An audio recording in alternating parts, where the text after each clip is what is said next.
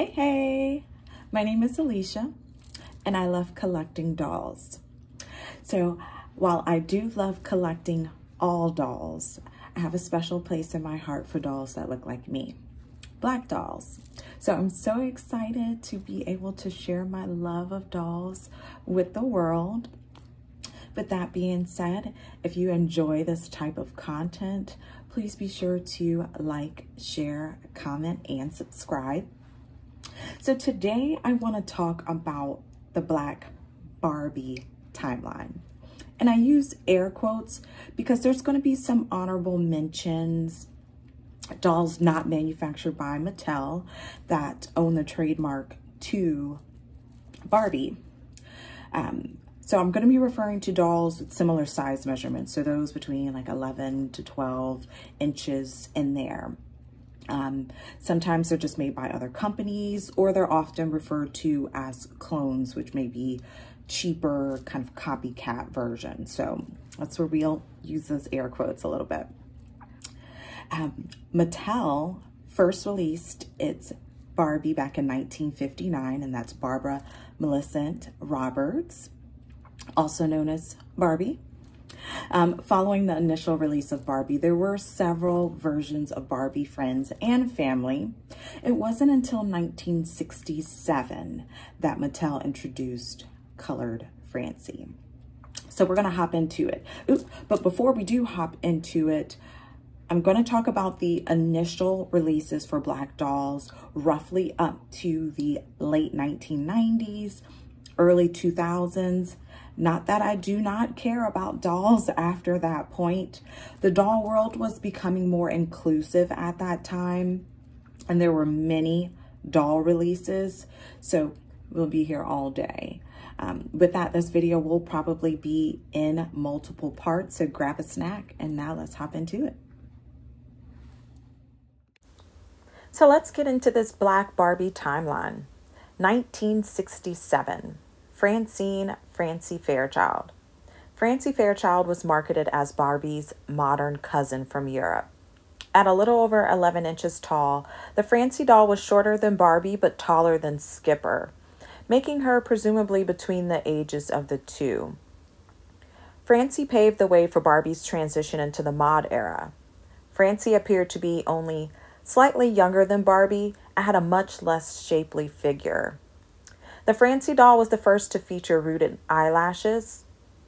A colored Francie was first issued in 1967. And she was the first doll in the Mattel line with a truly dark complexion. However, the doll did not have typical African American features, since it was made with the same head molds as the Caucasian Francie doll. Because of this, a doll named Christie, first issued in 1968, is often considered the first true African American doll in the Barbie line. The Francie doll was discontinued in 1976. 1968. Christie.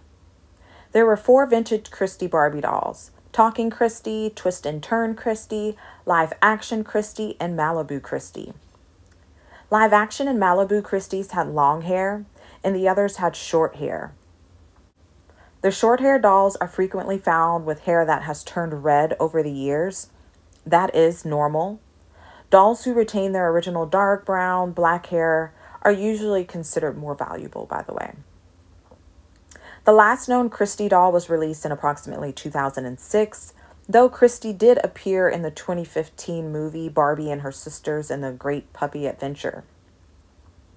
Several Christie reproductions have been released since 2016, including Malibu Christie, Red, White, and Warm Christie, and a few others. The face molds for Christie have changed several times over the years. We'll touch on that in another video. The surname O'Neill is associated with the Nikki character, who is supposed to be Christie's sister but the surname has not been associated directly with Christie. We'll touch on Nikki in a bit. 1969, Julia. The Julia Barbie doll was one of the first celebrity Barbie dolls. It was introduced in 1969 along with Truly Scrumptious from the movie Chitty Chitty Bang Bang.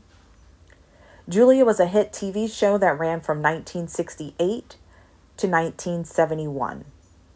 Diahann Carroll played Julia Baker, a widowed single mom and registered nurse. This was a groundbreaking role because it was one of the first primetime shows to feature an African American woman in a non stereotypical role.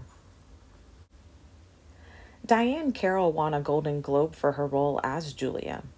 In 1969, Ebony Photo magazine, Diahann Carroll poses with the first two versions of the Julia doll Talking Julia on the left and Nurse Julia, a twist and turn doll, on the right.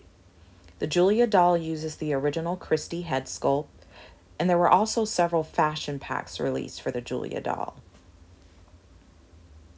1972 Wanda by Shindana Toys.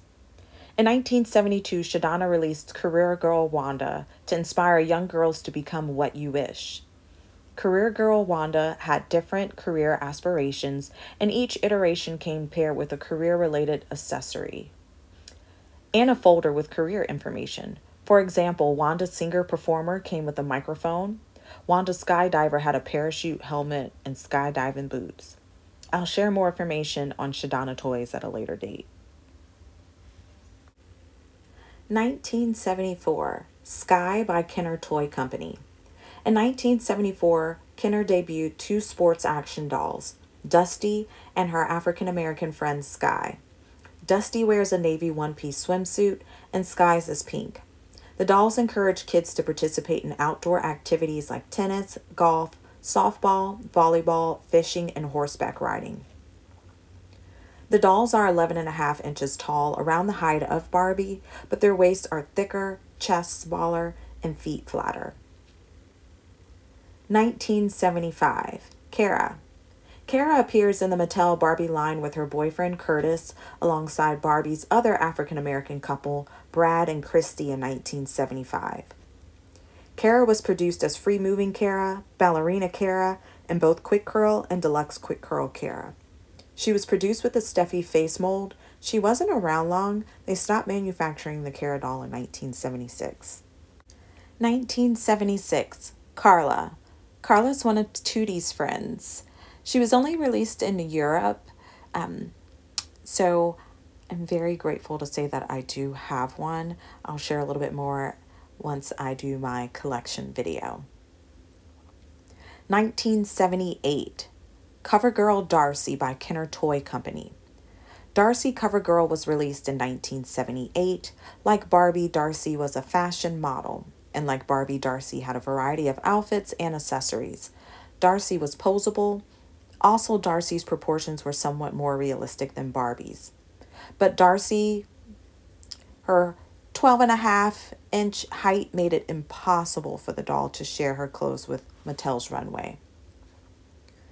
1970s, we have the Maxi Mod by M&S Schulman Incorporated. Manufactured by M&S Schulman Incorporated, this 11 and a half inch fashion doll was fully posable, twist and turned, had real eyelashes, and rooted hair. The first dolls entered the market in the 60s, with the first African American dolls manufactured in the 70s. There was a release of mini mods later in the 70s, and they had a few manufacturers, so Schulman, Totsi, and Gordy. It's also said that Schulman produced dolls before the Mattel brand. I'm not sure what kind of dolls they produced, but they did. 1970s, Superlena. Superlena was a 70s Holland clone made by Tom Fu Nikimer, and it was a clone of the Yellowstone Kelly by Mattel. This doll featured a similar face mold to the Steffi face mold with closed lips and no teeth showing. Superlena is now worth more than the Yellowstone Kelly. Let's take a break here, and I'll see you in the next video.